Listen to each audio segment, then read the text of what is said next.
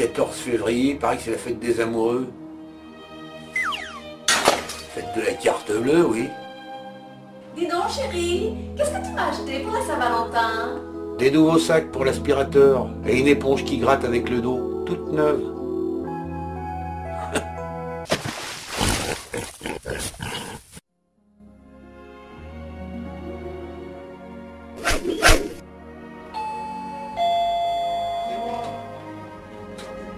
Salut ma puce.